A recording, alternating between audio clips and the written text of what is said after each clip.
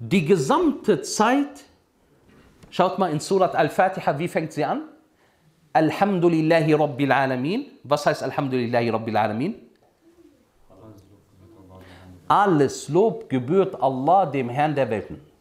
Was ist das für ein Ausdruck? Das ist Lob.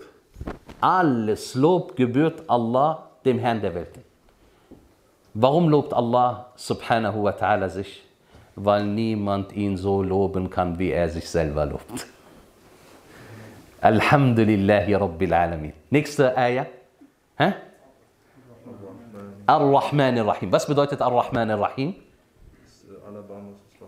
Dem Allerbarmer, dem Barmherzigen. Weiter? Weiter? Was bedeutet Maliki Yawmiddin? Dem Herrscher am Tage des Gerichts. Das heißt, wenn wir uns die Sura betrachten, alles Lob gebührt Allah. Und das ist das Schöne.